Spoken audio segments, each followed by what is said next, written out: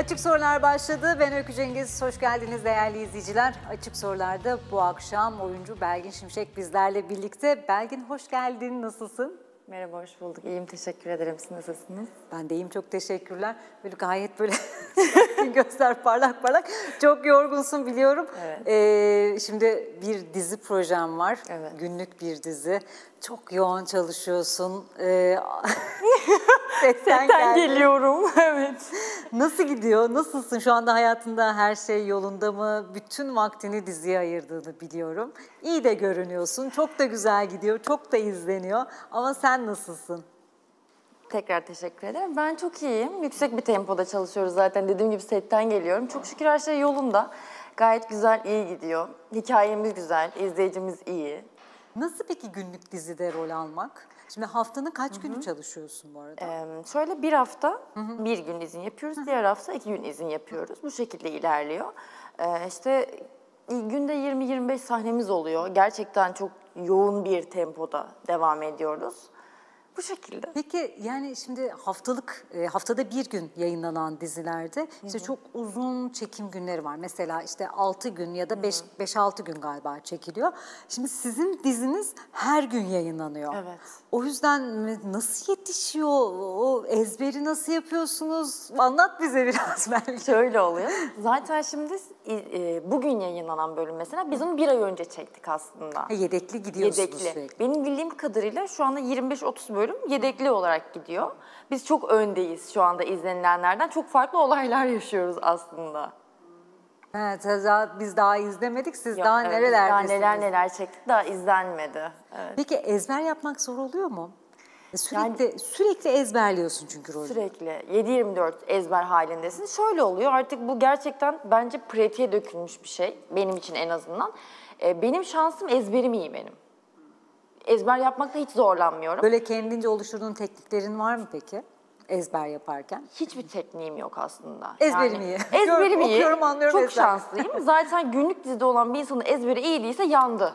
Gerçekten yandı. Çünkü bize e, haftada bir beş bölüm geliyor. O beş bölümü okumak zorundasın. Aynı zamanda o sırada çekimde yapıyorsun. E, mesela yarına işte sahne koymaları gerekiyor. Diyorlar ki işte yeni senaryo geliyor hemen bunu okuyun. Bundan bölüm koyacağız. E, sahne ekleyeceğiz o mekan e, mekanda olduğumuz için. Çünkü biz bir mekana girdiğimiz zaman burada 160'tan da çekiyoruz. 180'den de çekiyoruz. E, şey diyorsun artık böyle. Ben diğer sahnede ne yapmıştım en son? Ağlamıştım. Gözlerim kırmızıydı değil mi? Tamam o zaman gözlerimi kızartıyorum. Hadi diğer sahneye geçiyoruz. Çok da zor olsa gerek. Yani e, de, sürekli bir devamlılık Evet. gerektiriyor. Kendinize çok iyi bakmanız gerekiyor. Oyuncu olarak hani hasta olmamanız gerekiyor. Sesinizin kısılmaması gerekiyor. Canlı çekiliyor değil mi ses kaydı? Sonra Evet evet tabii. evet evet canlı olarak çekiliyor. Hiç gerçekten hasta olmamam gerekiyor ama günün sonunda bir insan olduğun için böyle durumlar söz konusu olabiliyor ve bu gerçekten çok büyük sekteye uğratabiliyor.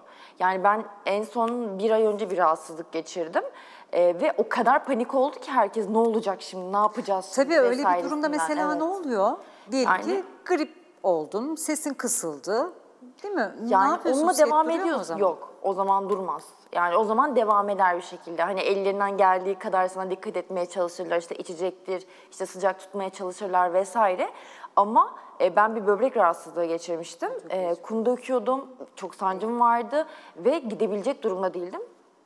O gün rep oldu. Olmak zorunda kaldı. Hani ben hiç istemedim aslında ama o sancıyla sete de gidemezdim. Öyle bir durum söz Bir de konusu. sen Gece dizinin- 12'de hastanedeydim başrol çünkü. oyuncusun. Evet. Çok fazla sahnen vardır. Çok fazla sahnem var evet. Ya o yüzden şimdi benim rahatsızlanmam demek bütün ekibe mal oluyor. Ne yazık ki. Yani bunu yukarıdan bir yerden söylemiyorum yanlış anlaşılmasın ama hani benim o gün içerisinde 10 sahnem, 15 sahnem varsa gidiyor zaten o gün. Eğer ben gidemeyeceksem o sahneler iptal olmak zorunda Çok kalıyor. da farklı bir sorumluluk oluyor o zaman. Evet ben üzülüyorum öyle mi? ve kendimi kötü hissediyorum açıkçası. Çünkü o insanlar o mekanı ayarlamışlar, orada belli bir şekilde bir düzen kurulmuş, haftalık program Tabii, çıkmış. Hasta ekip. olduğum için kendimi suçlayabiliyorum mesela günün sonunda neden böyle oldu diye.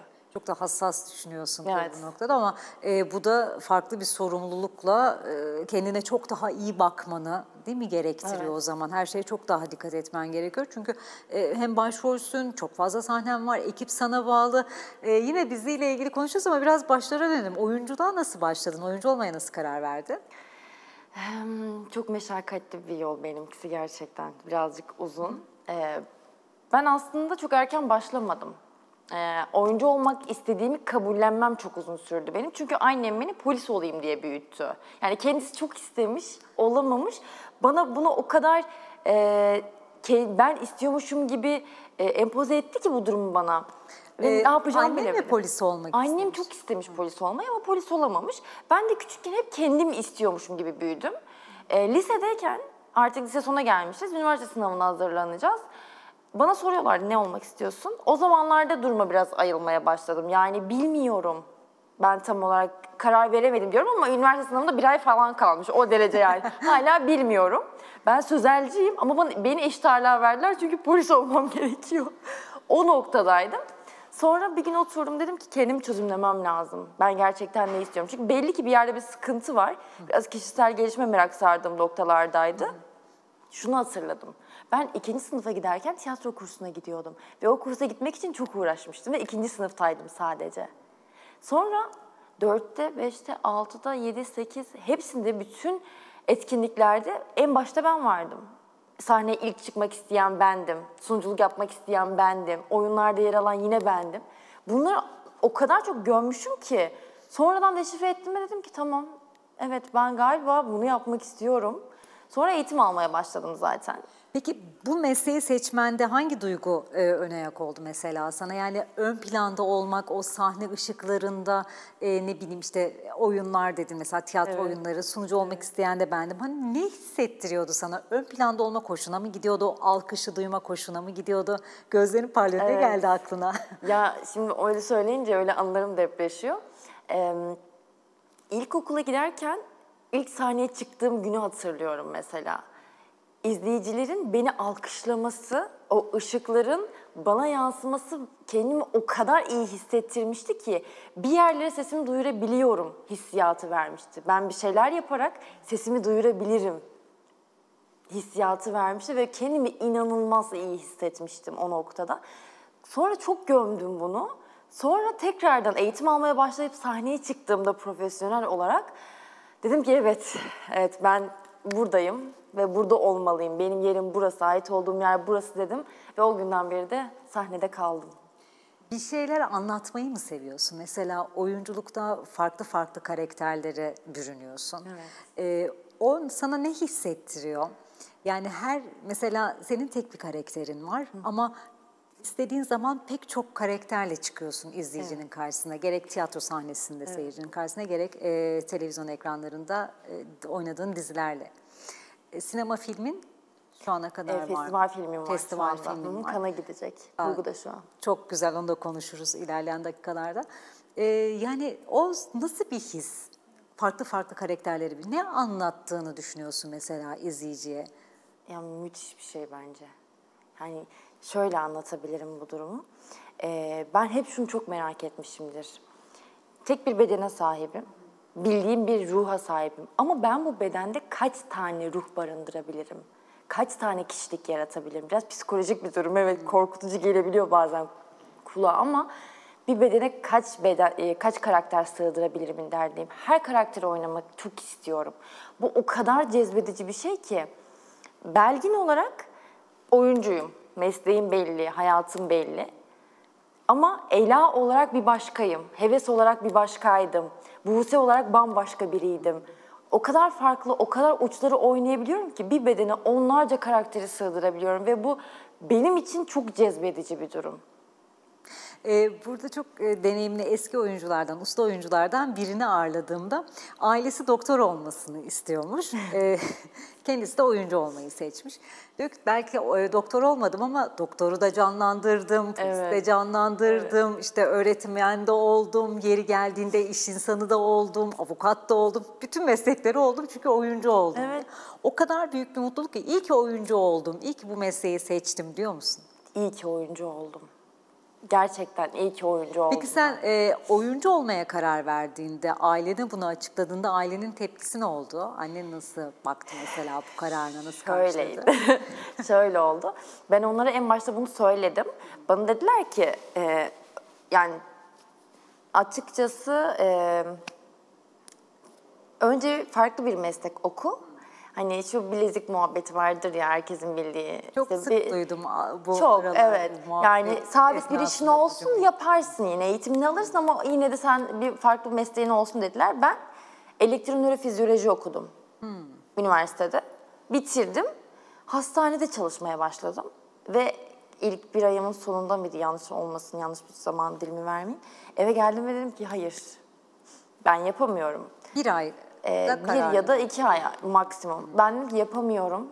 Ben ait Aslında olduğum zaten yerde seçmek değilim. istediğin meslek de bu değilmiş. Yani Değildi. öncesinde de biliyorsun. Hiç değildi. Yani bunu biliyordum ama bununla nasıl başa çıkacağımı, nasıl yönlenmem gerektiğini bilmiyordum. Ee, o yüzden birazcık hayat, hayatı akışına bırakmış durumdaydım. Ve sonra dedim ki olmayacak biraz.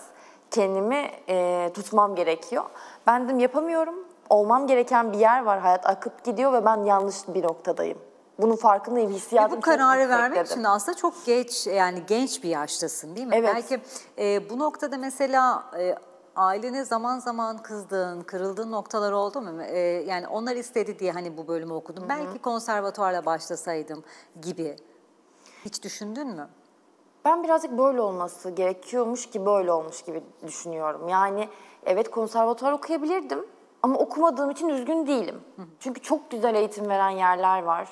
Ee, zaten Yani bence okuduğun bölümü zaman kaybı olarak görmedin hiçbir zaman değil mi? Yani Yok, sana bir hayır. şeyler kattığını, olması eğitiminde. gerekiyormuş. Yani benim orada olmam gerekiyormuş o anda. Kendimi deşifre ederek, kendimi geliştirerek bu noktaya gelmem gerekiyormuş ki şu an bu noktadayım. Yani binlerce seçeneğimiz var ve ben birazcık böyle kıvrıla kıvrıla ilerlemişim. Ama geldiğim noktadan çok memnunum. O yüzden aileme kızmıyorum. Hatta yan- yanımda oldukları için çok teşekkür ederim onlara. Evet sonra peki mesela bir ay, bir iki ay e, çalıştım ve orada mutsuz olduğumu anladım dedin. Oradaki kırılma noktan nasıl oldu? Sonra nasıl geçiş yapsın oyunculuğa? Ee, eve geldim.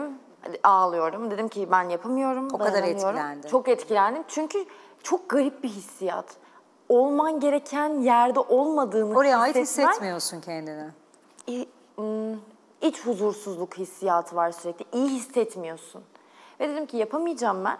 Ben bu mesleği istemiyorum. Ben oyuncu olmak istiyorum ve ben eğitim alacağım dedim. Ailem tamam dediler. Ben bu böyle bir şey söyler söylemez beni onayladılar. Ertesi gün Zaten gittim. öncesinde de biliyorlar. Biliyorlardı. Destek zaten biliyorlardı. Sadece farklı bir meslek okumamı istediler. Sonrasında yapmak istersen is- yap- yapmaya devam edebilirsin dediler. Ben gittim ertesi gün özel bir e, kuruma üye oldum. Sonrasında eğitim almaya başladım. Bir buçuk iki sene kadar eğitim aldım. Sonra tiyatro sahnesine çıktım zaten. Sınavları vardı. Sınavını geçtim. Tiyatro sahnesine çıktım. Sonra da ilk dizim geldi. Peki işte ilk sahneye çıktığın oyun hangisiydi hatırlıyor musun? E, George Orwell Hayvan Çiftliği. İlk oyunumdu benim. Hissettin? İlkleri soracağım tabii. İlk bir de hayvan karakterini oynuyorum. Yani insan da oynamıyorum. Zorun da zoru. o kadar garip bir hissiyattı ki. Her yer simsiyah, ortalarda samanlar var. Karakterim eee, bir domuzu oynuyordum. Çok zor bir karakterdi. İzleyiciler bakıyorlar ama farklı bir noktadayım. Işıklar bana çevrilmiş. O kadar güzel bir hissiyattı ki hiç unutmuyorum. Çok Unutamayacağım da galiba. olduğunu hissetmişsin. Nasıl parlıyor gözün o anda gitti yaşıyorsun. Müzik bile kulağımda yani. Peki böyle inanılmaz bir heyecan kapladı mı içini? Çünkü çok istediğin bir şey. Oyuncu olmak istiyorsun. Çocukluğundan itibaren hayallerini kurmuşsun. Okul zamanlarında biraz denemelerin olmuş. Üniversite zamanında biraz uzaklaşmak zorunda kalmışsın. Onun için işte okuduğun bölümde seçtiğin mesleği bırakıyorsun bir iki ay sonra ve eğitimini alıyorsun. Yine bir eğitim süreci geçiriyorsun. Ve tüm bu hissiyatla sahneye çıkıyorsun. Ve tiyatro sahnesi. Yani Ağladım. seyirciyle karşı karşıyasın. Dört oyun oynadık. Dördüncüsünün sonunda ne kadar yani mutluluk ve heyecan yaşadıysam hayatımda ilk kez mutluluktan bu kadar ağladığımı biliyorum. Yani hem hüzün var, e, eğitimim bitti ama sınavımız vardı tabii sonrasında. Çok şükür o sınavı geçip e, bu şekilde devam ettim ama yani nasıl böyle titreyerek ağladığımı hatırlıyorum. Başardım. Ben bunu yaptım Kendinle diyerek. gurur duymanın da bir e, gözyaşıydı değil mi o? Hayallerini gerçekleştirmenin. Çünkü eğitim alırken aynı zamanda ben iki işte daha çalışıyordum. Yani günlük uyuma saatim 5 saat falan olabilir. 5 saat anca uyuyordum günlük olarak ben. ne Eğit- yapıyordun peki? E, aynı zamanda hastanede hastanedeki işi Devam bırakmamıştım. Devam ediyordum. Aynı zamanda fotoğrafçılık yapıyordum. Arkadaşımın yanına gidip ona yardım ediyordum. Eğitim alıyordum. Provalara gidiyordum. Günde 5 saat uyumalık bir e, iki sene boyunca böyle bir programım vardı benim sürekli. Ama sonunda başardım. Ve tüm bunları hayallerini gerçekleştirmek için yaptın. Evet. Peki hiç oyuncu olmasaydım diye düşündün mü? Düşündüm. Muhtemelen mutsuz bir hayatım olurdu. O zaman hangi mesleği seçerdin? Okuduğun bölümde Polis devam olurdum. mı ederdin? Ha, polis olurdun. Polis olurdum. Evet, o zaman polis olurdum. Çünkü hep kadınların böyle BC planları vardır ya. Ee, şey oldu, pandemiye denk geldim ben. Eğitimim bitti, e, il dışında turnelere gittik, tiyatro oyunları oynadık, Elif Hanım'la tanıştım. Bir anda ben pandemiye denk geldim. Ee, pardon, Elif Hanım'la sonrasında tanıştık, özür dilerim. Pandemiye denk gelince çok kötü hissettim kendimi. Hiçbir yere gidemiyoruz, sadece hastanedeyim, iyi hissetmiyorum kendimi. Aa, evet. E, ve eğer sadece hastanede kalsaydım ve o ben orada hiç yapamazdım. Kesinlikle sınava girer polis olur ve oradan çıkardım. En kötü ihtimalim buydu. BC planım bunlardı artık benim. O zaman e, kendini böyle şanslı hissediyor musun? Hissediyorum. Ben hep söylerim. Ben çok şanslı bir insanım. Aman çok maşallah. ciddiyim. Çok şanslı. Yay burcuyum ben. Çok şanslıyımdır. Yani neşenden belli zaten. Benim de çok yakın arkadaşlarım yay burcu. Peki şimdi e, ilk oyunculuk deneyimin tiyatroda çok heyecanlandın ve dört oyun sonra ağladın mutluluktan Evet. dedin. E, televizyona geçişin nasıl oldu? O da çok ilginç oldu. Çok hızlı, benim süreçlerim çok hızlı gelişiyor çok şükür. Ee, Elif Hanım'la tanıştım. Tanıştığımın e, işte böyle dördüncü, beşinci ayında ilk dizi geldi. Ee, audition verdim. İlk işim Anakasta oldu benim. Star TV'di gibi. O isim verebiliyor muyum? Tamam artık ben. Ha, verdim gitti. Ee, oldu, ana kasta oldu. Ee, Ahmet Saraçoğlu'yla oynuyorum. Partnerim Ahmet Saraçoğlu ve o kadar şanslıydım ki sadece reytinglerden dolayı 6 bölüm sürdü. Bir şanssızlığa uğradık. Bitti ama bana çok fazla şey kattı. Bir buçuk ay sürdü ama çok güzel bir süreçti benim için mesela. Sonrasında zaten şu anda Canım Annem dizisinde. Canım annemdeyim. Onun öncesinde festival filmi çektim. Bir öncesinde de e, dijitalde yayınlanacak olan bir iş var. E, yönetmeni verebiliyor mu? Tabii tabii. Ömer Sinir'in çekmiş olduğu bir skeç dizi var. Orada oynadım. O daha yayınlanmadı. O da yayınlanacak. Bekliyoruz 2023'te. Ay ne kadar Evet. güzel, dolu dolu. Hakikaten böyle e, mesela işte eğitim alıyorsun, ondan sonra tiyatro sahnesi ama tabii o kadar da güzelsin ki böyle ekranda çok yakışıyorsun. Çok da güzel tepkiler alıyorsun. Böyle sevenlerin de çok. Mesela dışarı çıktığında e, tanınıyor olmak ne hissettiriyor? O tepkiler geldiği zaman neler hissediyorsun? Çok utanıyorum. O tepkileri e, yaklaşık iki aydır almaya başladım ben. İlk dizide almaya başlamıştım. Altı bölüm sürdü. Ama hani insanlar tabii ne kadar görebilecekler ki bir buçuk aylık bir iş sonuçta. Bu her gün yayınlanan bir iş olduğundan dolayı iki aydır yaklaşık insanlar tanıyorlar ve ben çok utanıyorum. Fotoğraf çektirmek istiyorlar, çok utanıyorum. Sette geliyorlar. Tabii ki çekiliyoruz. Ama kendimi böyle çok garip hissediyorum. Mutlu oluyorum bir taraftan da. Yaptığım işin göz önünde olması, insanların bunu beğenmesi ve güzel tepkiler vermelerinden mutluluk duyuyorum açıkçası. Yani umarım artarak devam eder ama ki buna hazır mısın mesela? Çok çok daha ünlenmek, çok fazla hayranlarının etrafında olması, özellikle dijital çağda yaşadığımız bu günlerde sosyal medya üzerinden olumlu eleştiriler oluyor, olumsuz eleştiriler oluyor, çok acımasız eleştiriler de e, yapılabiliyor. Bunlara hazır mısın? Yani psikolojimi buna e, bu yaklaşık 6 ayda hazırladığımı düşünüyorum. evet, ha, hazırladım, hazırım yani bu duruma. Peki geliyor mu sana? Sosyal medyanı kendin mi kullanıyorsun? Kendim kullanıyorum. Geliyor tabii ki. Neler söyleniyor? Yani e, insanları anlamak mümkün değil. O gün mutsuz uyanmış. İşte afaki konuşuyor. Beni görmüş. Benim orada belki de ne oynadığımı bile bilmiyor. Belki ilk kez açmış. Devamlılığı bilmiyor. ilerisini gerisini bilmiyor olayların. Canı sıkılmış ve birilerine bir şeyler yazmak istiyor. Bu bile olabiliyor. Saçma sapan bir mesaj atmış olabiliyor. Ya da baş, bambaşka bir insan çok beğenmiş, çok güzel yorum yapabiliyor. Yani bir insanı motive edebilecekken e, onun modunu düşürmek için uğraşılması çok garip geliyor bana. Ne gerek var? Olumsuz eleştiriler olduğu zaman takıyor musun kafana? Başta takıyordum. Ya neden böyle yazmıştır? Ama biz bu sahne için çok uğraşmıştık. Ama çok güzel bir sahneydi. Niye böyle olmuş deyip çok üzüldüğüm zamanlar oldu. Ee, içindeki yönetmenimiz var Tuğçe Küçük Kalıpçı. Dünya tatlısı bir insandır. O bana dedi ki hayır yorum okuma bu hep olacak. Hayatın boyunca bundan sonra bu olacak. Bunu kabul et, reddetme ve yoluna bu şekilde devam et. Ama okuma olumlu ya da olumsuz olarak bakma. Bunlar bulunan eleştiriler kenarda her zaman kalacaklar. Sizin işiniz böyle bir iş dedi. Evet. Bana bunu kabullendirdi açıkçası. Buna çok evet. e, alışık olmak durumunda kalıyoruz. Çünkü herkes her şeyi yazabiliyor. Görmemek lazım. Evet, Ee, onun moduna bağlı karşıdaki kişinin ne yazacağı, ne yazmayacağı. Tamamen on- onunla alakalı bir durum. Ben şey diyorum zaten, e, Dört Anlaşma diye bir kitap var. Onda diyor ki hiçbir şeyin sizinle bir alakası yok. Yani kişisel algılama hiçbir şey. Karşındakiyle alakalı bir durum. Onun belki güne kötü başladı, iyi hissetmiyor kendini ve kendisinde olmasını istediği bir şeyi sende görüyor ve bunu söylüyor. Kişisel algılamıyorum hiçbir şey Evet. artık o yüzden. Ya tabii mesela eleştiri, şimdi bizler göz önünde işler yaptığımız için gerek ben gerek sen oyunculuk anlamında e, tabii ki eleştiriler de olacak. Olumlu beğeniler olduğu gibi hani olumsuz e, sayılabilecek belki bizim hoşumuza gitmeyen eleştiriler de olabilecek olabiliyor. E, ama tabii bu eleştirinin de bir dozu da çok önemli. Hani Allah ne verdiyse saydırmak değil de hani bu kadar incitmeden, kırmadan tabii ki herkes herkesi beğenmek zorunda değil ama her zaman söylediğimiz şey var. Birbirimize saygılı olursak hani daha güzel yaşanabilir bir alan oluşturabiliriz dünya hani Keşke. yaşam alanımıza. Keşke böyle O yüzden böyle saygı çerçevesinden aşmadan hani yapıcı eleştiriler olduğu gibi e, belki olumsuz eleştiriler de olacaktır ama saygı çok önemli. Çok. Bence.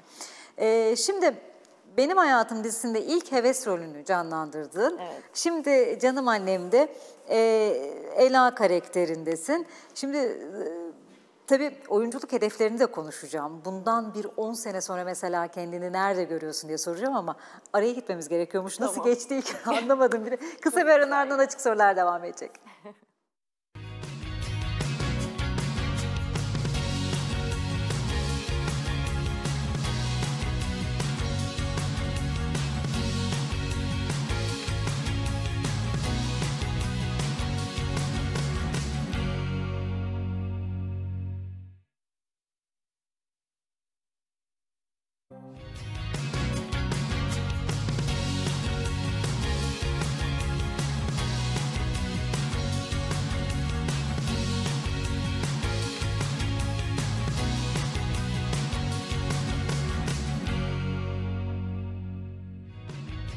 Aranın ardından açık sorular devam ediyor. Belgin Şimşek'le sohbetimize devam ediyoruz. Belgin, oyunculuktaki hedeflerin neler diye sormuştum araya gitmeden önce. Mesela hiç e, hayal ettin mi kendini 10 yıl sonra neredesin?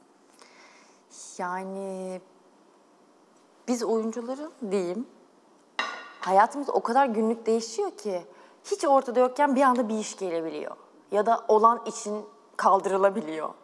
Çok spontane yaşıyoruz gibi hissediyorum ben. Ama 10 sene sonra nerede olmak isterim gibi Evet. düşünce- düşüncem olursa tabii ki böyle artık dijitallerde iş yapmış, istediğim tür karakterlerin çoğunu oynamış bir oyuncu olarak yurt dışına açılmak isterim açıkçası. Hmm, öyle bir planın var yani yurt dışında Tabii ki isterim. olmak istiyorsun. İsterim. Ya Türkiye bu konuda kendini, bence çok iyi, çok iyi bir ilerleme var Türkiye'de. Ben öyle olduğunu düşünüyorum. Çok iyi işler var çünkü gerçekten artık dijital de e, devreye girdiğinde Türkiye'mize gelen bir sürü dijital platform var.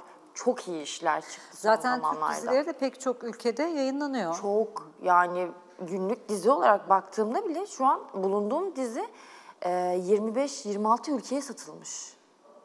Evet. Yani yurt dışına açılmamız, çıkmamız artık böyle gözümüze büyüttüğümüz kadar büyük bir şey değil aslında. Şöyle mesela bir Hollywood sinemasından. Her şey olabilir. Her şey olabilir. Hadi önün açık Hayat olsun. mucizeleri gibi. Her şey olabilir. Bilmiyorum. Ben zamanında kurdum o hayalleri ve şu anda hayalimin içinde yaşıyorum Evet, diyorsun. Şu an hayalimi yaşıyorum. İnşallah güzel gönlüne göre olsun her şey, dilediğin gibi olsun. Peki şöyle bir karakter mutlaka canlandırmalıyım dediğin bir Şizofren. karakter var mı? Hmm, neden? Şizofreni çok canlandırmak istiyorum. Çünkü e, ya da çift kişilik çok merak ederim mesela. Çok düşündüğüm, nasıl olacak olarak düşündüğüm ve e, dramaturjisini çok yapmak istediğim bir olay. Çünkü çok uçlardasın. Yani e, arada kalmak, o grilik e, gün yani dizide kamera önünde o griliği istiyor. Ama o uçları bazen tiyatro sahnesinde yaşayabiliyorsun. Büyük büyük oynayabilmek ya da böyle anlık geçişler yapabilmek orada olabiliyor ama e, dizide belli karakterlerde olamayabiliyor. Ama şizofreni oynarken anlık değişimlerin, bir olaya vereceğin tepki, mimiklerin, jestlerin o kadar farklı olabiliyor ki ben daha önce biraz incelemişliğim var. O kadar farklı nüansları var ki aslında beni çok cezbediyor bu durum. Çok oynamak isterim.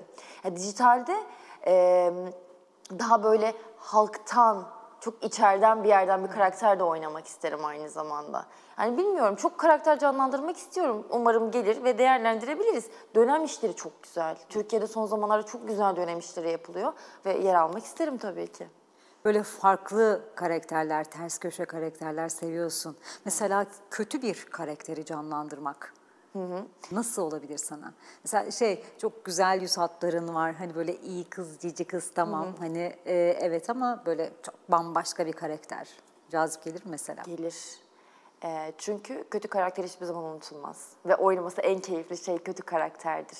Genelde İyi karakter çok sıkıcı bu arada. Çok seviyorlar değil mi? Oyuncu olarak böyle kor- kötü karakterleri oynamak size farklı bir e, tatmin duygusu yaşatıyor oyunculuk anlamında. Evet çünkü günlük hayatında eğer kendine kötü bir insan değilsen tabii o da var şimdi. Ee, günlük hayatta yapamayacağın şeyleri yaptırıyor ya karakter sana. Onunla deneyimletiyor.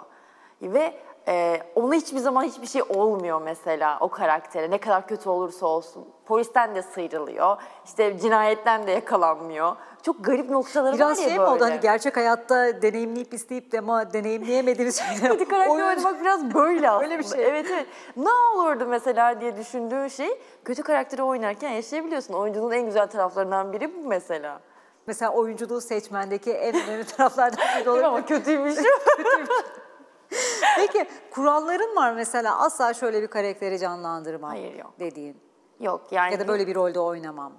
Yok öyle keskin çizgilerim yok. Büyük Bir oyuncu sevmem. her rolü oynamalı mı? Her karakteri canlandırmalı mı? Ya istiyorsa her karakteri canlandırabilir ama insanların istemediği, e, oynamak istemeyeceği, içine sinmeyeceği karakterler de olabilir. Bu Tabii değil Mesela şey. bir e, senaryo geldi, onu okuyorsun, e, içine sinmesi çok önemli değil mi? Evet. İçinde dahil e, yani böyle bir e, zorunluluk değil de sonuçta severek, çünkü onu oynayacak olan sensin çünkü. Evet. Ona çok dikkat ediyor musun? Ediyorum. İçine sinmesine, gerçekten o projede yer almak istiyor musun? İçine siniyor mu? O enerjiyi hissediyor musun? Benim böyle e, e, geri çevirmek zorunda kaldığım 3-4 tane iş oldu. E, dijitaldeydi bunlar, bir de sinema filmleri vardı. Okuyorsun, karakter geliyor önüne, karakter analizi var, dramatürjisi var işin, e, senaryosu geliyor. Bu bana göre değil diyorum mesela. Ben bunu oynar, bir, bir, karakteri okuduğun zaman önce benim gözümde bir şeyler canlanmaya başlıyor. Okur okumaz mesela karakterleri şunu şunu yapabilirim, bunu bunu yaparım. Acaba bu karakteri şunu yakıştırabilir miyim? Bunu giydirsem olur mu? Ee, şöyle bir mimiği var mıdır acaba? Bir takıntısı var mıdır? Yani bunun hepsini düşünebiliyorum sevmeye başladığım zaman karakteri. Ama bazen bir okuyorum, diyorum ki yok ya hani bu, bu ben istemiyorum. Çünkü onun içine giremeyeceğim. Karaktere bürünmek olayı var bizde. Ol- olmak diye bir şey söz konusu dahi olamaz. Bu psikolojik bir durum çünkü. Ben ancak onu giyebilirim. Öyle bir durum var. Ee, o olmaya çalışırsam çok ciddi noktalara gidebiliyor çünkü oyunculukta böyle sıkıntılar yaşayan çok kişi var aslında. Ee, Yani oyunun içine girdi, çıkamadı, o öyle şeyler var psikolojisi etkilendi gibi. Olabiliyor. Jim Carrey'nin Jim and Andy diye bir, belgesel vardı. Ee, orada da bahsediyor aslında birazcık bu durumdan. Kendisinin içinde bulunduğu karakterle alakalı vesaire. Gerçekçi şeyler olsun olabiliyor. diye gerçeğin içine çekmek çok gibi riskli. değil mi? Hı hı. Çok riskli bir olay. Ee, başlarda ben şey diyordum. Ya yok ya hani o kadar da değildir falan ama e, taşlar yerine oturmaya başladığı zaman diyorum ki evet bunun bu işin gerçekten böyle bir Tabii etkisi rolden olabilir. çünkü çok farklı farklı roller canlandırıyorsunuz. Rolden çıkamamak belki insanın psikolojisini çok olumsuz etkileyebilir. çok olumsuz çok roller etkileyebilir. Gerçekten öyle. Yani tamamıyla psikolojik, psikoanalizle ancak anlaşılabilecek bir durum aslında baktığımız zaman bu. çok riskli noktaları var. Peki sen rolüne nasıl hazırlanıyorsun? Biraz onu konuşalım. Mesela e, Ela'yı konuşalım. Ela nasıl bir karakter? E, bize önce onu birazcık anlat. Sonra da mesela senaryo sana geldi. Nasıl hazırlandın? Nasıl bir hazırlık süreci geçirdin? Kendi kendine nasıl çalıştın? Çok kısa bir hazırlık sürecim oldu. Çünkü geldi hemen 3 ya da 4 gün sonra ben sete çıktım aslında. Ee, daha doğrusu onaylandı haberi gelmişti. Ela'cığımız böyle tatlı sevimli bir kızcağız. Ee, İstanbul'da üniversite okuyordu. Üniversite son sınıftaydı. Şu an mezun oldu gördüklerinde. Hatta evlendi de. Sonra işte böyle bir tesadüfler silsilesiyle bir Furkan karakteriyle tanışıyor. İşte aşık oluyorlar, evleniyorlar. Kötü olaylar geliyor Ela'nın başına. İşte takıntılı aşığı vardı, kaçırdı. Şu anki bölümlerde hafızasını falan kaybetti Ela. Benim... Ela'nın e, başına gelmeyen, gelmeyen kalmıyor. kalmıyor. Yani Ela'nın başına gelen gerçekten pişmiş tavuğun başına gelmiyor diyebilirim. neler neler daha izleyecekler. Bir 30 bölüm daha çektim. Oo. neler neler var hiç sorma. ben karakter geldiği zaman önce o karakter şunları şöyle şu şekilde ele almam gerekiyor. Ne yer, ne içer, geçmişinde ne yaşamış, hobileri ne, ee, Tabii bunların teknikleri var, değil mi? Ya, gerekirse siyasi görüşüne kadar, sevdiği yemeğe kadar bunların hepsini bilmem, benim bilmem gerekiyor. Ben bunları öğrenmek istiyorum kişisel olarak. Çünkü e, bildiğim şeylerden hiç beklenmedik bir şey katabilirim karaktere. Elma tiki vardır, sevmiyordur, görünce bir refleks geliştiriyordur. Ben onu sahnede kullanabilirim çünkü. Ve o o karaktere yapışır ve ben bunu çok farklı noktalarda devam ettirebilirim. Böyle şeyler geliştirebiliyorum. Bir rengi sevmiyordur, o rengi gördüğü zaman bir tepki veriyordur, onunla devam ettirebilirim. Dramaturjiyi çok seviyorum ben. Bir sahne üzerinde saatlerce konuşmayı çok seviyorum. Senaryo geldiğinde de bu yüzden üzerine çok eğilmiştim bu durumun. Çünkü bana geldiği zaman e, senaryo romantik komediydi. Evet evet bayağı böyle şu anda yazın izlediğimiz romantik komedi tadında bir buçuk ay bu şekilde çekim yaptık ve çok keyifliydi aslında.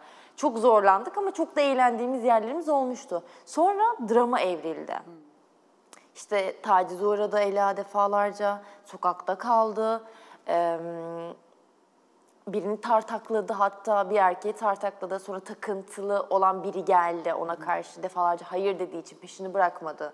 İl değiştirmiş meğerse Ela'nın İzmir'de yaşamış daha önce o yüzden İstanbul'a geldiğini öğreniyoruz üniversiteden değil mesela ondan kaçmak için geliyor belli bir noktada. Bu şekilde ilerliyoruz. Benim karakter sürecim bu şekilde ilerliyor aslında.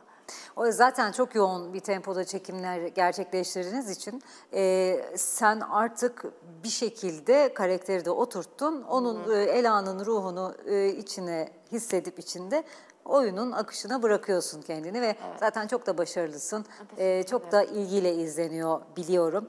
Peki şimdi biraz oyunculuk üzerine konuşalım. Çünkü oyunculuk günümüzde oldukça ilgi duyulan popüler bir meslek haline evet. geldi. Evet. Ee, pek çok e, genç arkadaşımız da hani oyuncu olmak için gerek işte konservatuara gerek özel kurslara e, başvuruyorlar, eğitim almak istiyorlar. Şimdi sen de genç bir oyuncu olarak oyunculuğun biraz bize avantajlarını ve dezavantajlarını anlatır mısın?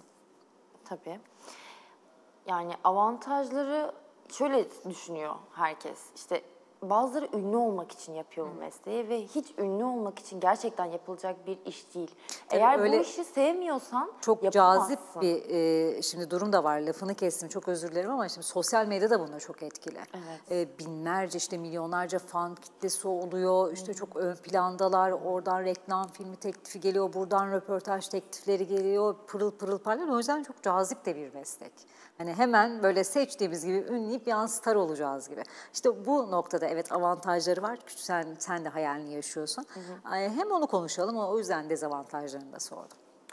Ya e, eğitim alırken de mesela biz bir sınıfta sadece e, biz 25 kişi olabiliyorduk. 20-25 kişi oluyorduk. Zamanla hocamız bize şunu söylüyordu. Arkadaşlar zamanla azalacaksınız merak etmeyin. Şu an böyle başladık ve gerçekten biz mezuniyet oyununda 9 kişiydik. Sadece kalan. E, bu işi başta çok cezbedici olarak gözüküyor olabilir, ışıklara aldanılıyor olabilir ama arka yüzü öyle değil.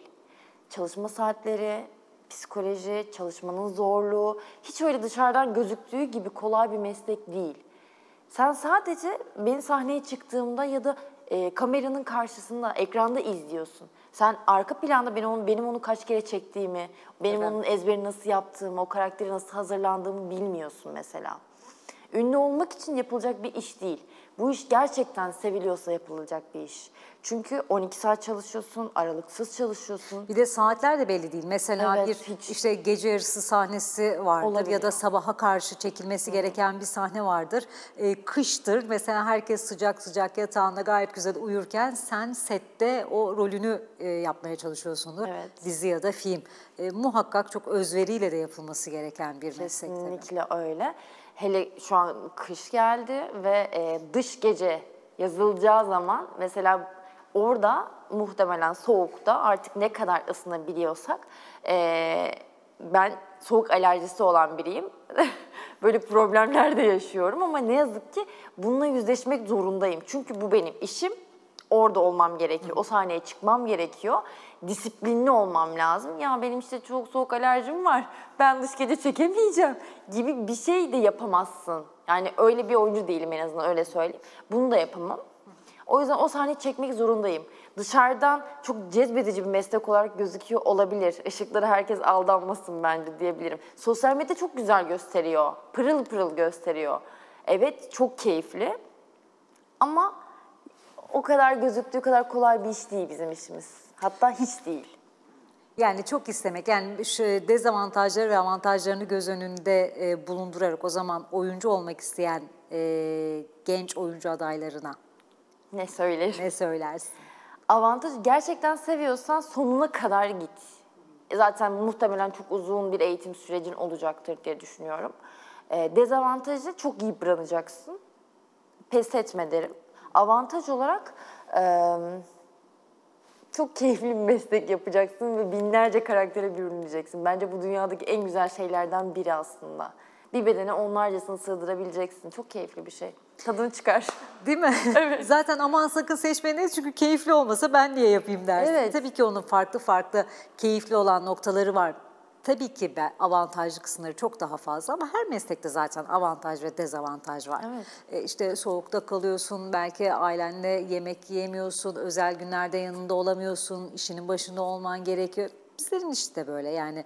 O yüzden e, anlayabiliyorum seni. Peki e, şimdi rol aldığın yani e, dizilerde özellikle usta oyuncularla da birlikte bir arada çalışma fırsatı buldun. E, örnek aldığın isimler var mı kendine oyunculuk anlamında? Türk mü yabancı mı? Yoksa çalıştığım yerlerde. Yani çalıştığın e, projelerde de olabilir, e, normal hayatta da olabilir, e, oyunculuğunu beğendiğin isimler olabilir, e, diğer sinema sektörlerinde de olabilir, Avrupa sineması ya da Amerikan sineması hiç fark etmez. Ee, yeni çalıştığım setlerde bana en çok yardımcı olan ilk dizimde Zeynep Kumral vardı. Çok severim kendisini. Ee, ilk işimdi ve ben e, evet eğitimini aldım, evet sahneye çıktım, defalarca yaptım ama tiyatro sahnesinde büyük oynamaya alışıksın ve ben çok fazla çocuk oyunu oynadım. Ya büyüğün de büyüğü oynuyorum. Şimdi bunu kısmam gerekiyor ve ne kadar kısacağım, nasıl yapacağım? Tabii ki içgüdüsel olarak bunu yapıyorsun.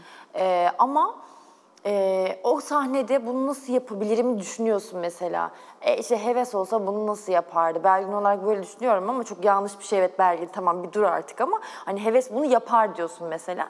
Zeynep Kumral bu noktada devreye giriyordu. O kadar çok yardım etti ki bana. E, bak mesela bunu böyle yapsan daha iyi olabilir. İşte o heves karakterine şöyle bir şey de ekleyebilirsin Belgin.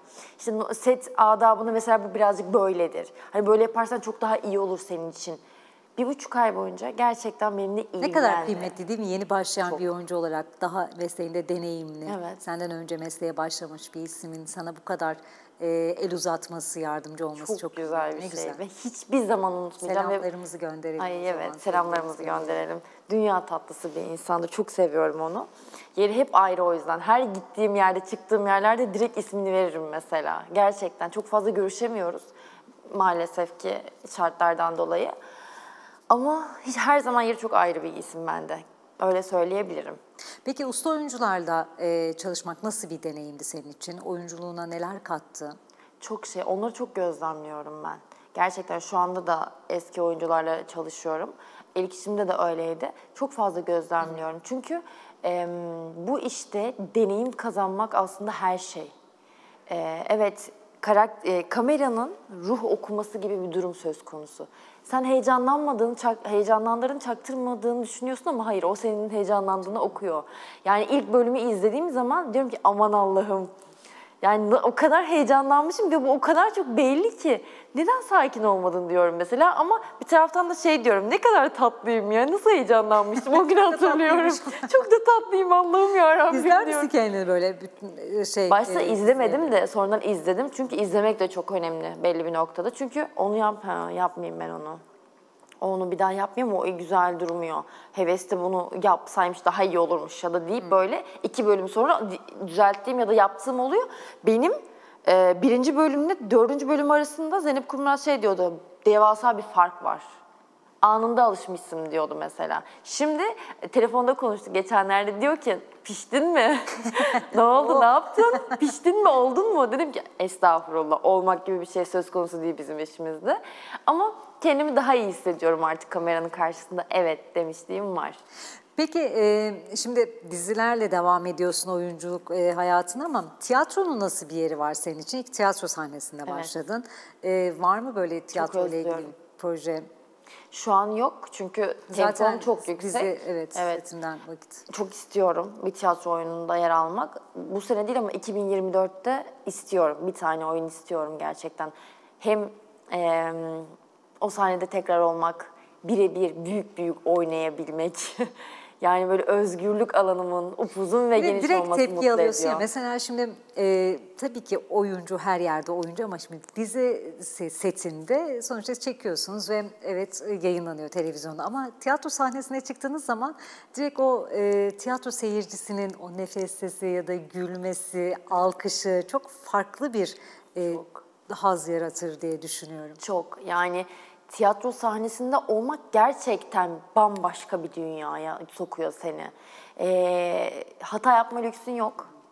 Hata yaparsan doğaçlayarak bir- kurtarabiliyorsun gerçi E, peki de. bir şey geldi mi başına böyle eyvah nasıl oldu bu ben nasıl şey- yapsın dedin? Aslında ben yapmadım. Ee, çocuk oyunu oynuyorduk. Turnedeydik bir ilde hatırlamıyorum. Ege tarafında bir yerdeydik. Ee, karga karakterini oynuyorum çocuk oyununda. Bir anda ses gitti. Kocaman bir amfideyiz. İçeride 500'e yakın çocuk var neredeyse. Ne yapacağımızı düşünürken ve şarkı söylemem gerekiyor benim karga Eyvah. sesiyle. Ne yapacağım, ne yapacağım deyip o anda olduğu kadar deyip böyle bağıra bağıra o salonda o sesle şarkı söyleyip çıktığımda sesim çıkmıyordu mesela benim artık. Ertesi oyunu kısık sesle ve mikrofonla oynamak zorunda kalmıştım ben mesela. Yani bu tarz şeylerde yaşayabiliyorsun. Ama kamera önünde de öyle olmuyor mesela. O anda Kesinlikle mesela çok düzeltiyorlar. Panikledim eyvah nasıl e, olacak şimdi diye ben bir anda konsantrasyonunun e, bozulduğunu ve böyle bir anda heyecanla nasıl yapacağım hissi oturdu mu? Yani o an karşımda oynayan arkadaşımla şöyle bir bakıştık. Şöyle yaptık birbirimize. Döndük şarkı Sesimiz kuvvetli. Şarkımıza sesimizi kuvvetledik. Söylemeye başladık bir anda ama kurtardık ve inanılmaz eğlenmiştik o gün mesela gerçekten. Çocuklar da normal oynadığımız oyundan daha da çok eğlenmişlerdi ama olan sesimiz oldu tabii günün sonunda. Gitti ses. O zaman tiyatro sahnesindeyken böyle bir anda panik olup ama sonra olayın üstünden e, tabii, seneler geçti. geçtikten sonra gülüp anlatıyorsunuz değil mi? Bu Evet. Keyifli, en keyifli yanı olsa gerek. Evet. Ne oldu ya sahnede az önce falan olabiliyorsun yani. Kurtardık mı kurtardık. tamam. Tamam. Ben çok teşekkür ederim. Ya nasıl geçti anlamadım. Çok Evet. keyifliydi. Çok İyi ki geldin. İyi ki Teşekkür e, tanıştık seninle. Kendini böyle daha yakından anlatma fırsatını verdin bize. Başarıların daim olsun. Çok başarılı gidiyorsun. teşekkür ederim. Yeni projelerini de takip ediyoruz. E, sinema filmin de vizyona girdikten sonra, ya gerçi festivale gidecek ama Evet. her zaman bekleriz açık sorulara. Çok, teşekkür ederim. Mutlaka geleceğim. Açık soruları noktalıyoruz değerli izleyiciler. İyi akşamlar.